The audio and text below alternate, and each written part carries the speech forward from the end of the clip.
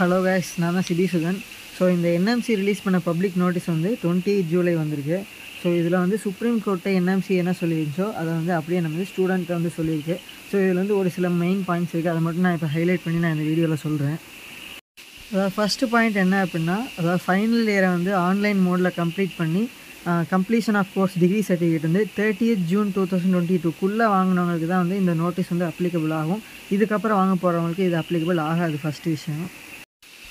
So இது போல் உள்ளவங்க வந்து எஃப்எம்ஜி எழுதி பாஸ் ஆகிற பட்சத்தில் இவங்கெல்லாம் வந்து டூ இயர்ஸ் அதாவது two years compulsory rotatory internship பண்ணும் சிஆர்ஐ பண்ணணும்னு சொல்லிட்டு சுப்ரீம் கோர்ட்டை சொல்லிவிட்டு இப்போ பப்ளிக் நோட்டீஸில் ஸ்டூடெண்ட்ஸ்கிட்ட சொல்லியிருக்காங்க. ஸோ இந்த விஷயம் அவங்க எல்லாருக்கும் தெரியும். இப்போ சுப்ரீம் கோர்ட்டை சொன்னதை இப்போ ஸ்டூடெண்ட்ஸ்டே இவங்க அஃபீஷியலாக சொல்லியிருக்காங்க இப்போது ஸோ இது வந்து மெயின் ரீசன் என்ன சொல்லியிருக்காங்கன்னா to familiarise them with the practice of medicine under Indian conditions so ஃபாரினில் வந்து நீங்கள் எப்படி வேணால் படிச்சுட்டு வந்திருப்பீங்க. ஆனால் உங்களுக்கு இந்தியன் கண்டிஷன்ஸ்க்கு உங்களுக்கு அக்கஸ்டமாக இருக்குது நீங்கள் டூ இயர்ஸ் வந்து இன்டர்ன்ஷிப் பண்ணணும்னு சொல்லி சொல்லியிருக்காங்க. ஸோ இவங்கெல்லாம் வந்து ஃபாரின் மெடிக்கல் கிராஜுவேட்ஸ் அப்போ தான் வந்து நம்ம டூ இயர்ஸ் முடிச்சுட்டு தான் வந்து எலிஜிபிலிட்டி வந்து ரெஜிஸ்ட்ரேஷன் வாங்க முடியும் அப்படின்னு சொல்லி சொல்லியிருக்காங்க. இப்போ இந்த கடைசி பாயிண்ட் தாங்க highlight so the above relaxation granted to the foreign medical graduates is one time measure and shall not be treated as precedence in the future so என்ன சொல்லியிருக்காங்கன்னா இப்போக்கு மட்டும்தான் இது. ஸோ அடுத்த வருஷம் நீங்கள் ஆன்லைனில் முடிச்சுட்டு வந்தீங்கன்னா இது உங்களுக்கு செட் ஆகுது.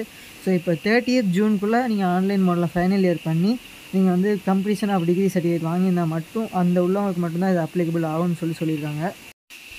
ஸோ எனக்கு கொஞ்சம் பேர் மெசேஜ் பண்ணி கேட்டிருந்தீங்க. ஸோ எப்போ வந்து இப்போ என்எம்சியில் வந்து பப்ளிக் நோட்டீஸ் ரிலீஸ் பண்ணி இந்த மாதிரி சொல்லிட்டாங்க. டிஎன்எம்சியில் எப்போ இதை வந்து அக்செப்ட் பண்ணி இஷ்யூ பண்ண ஆரம்பிப்பாங்கன்னு சொல்லி கேட்டாங்க.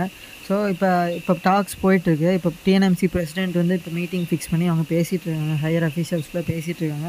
ஸோ ஒன்ஸ் இதெல்லாம் வந்து ஃபைனலைஸ் ஆனோடனே அவங்க வந்து இப்போ ஆன்லைனில் முடித்தவங்களுக்கு வந்து ப்ரொவிஷனல் எலிஜிபிள் சரி இஷ்யூ பண்ண ஆரம்பிச்சிடுவாங்க ஒன்ஸ் அது முடித்தோடனே டிஎம்ஏ வந்து அலாட்மெண்ட் டூ இயர்ஸ் வந்து அவங்க பண்ணணும்னு சொல்லி சொல்லிடுவாங்க.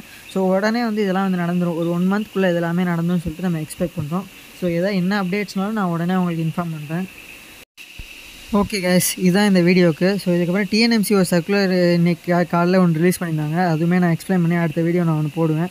ஸோ எதாவது டவுட்ஸ்னால் நீங்கள் கமெண்ட் செக்ஷனில் கேளுங்க. நான் எக்ஸ்பிளைன் பண்ணுறேன் until then bye guys take care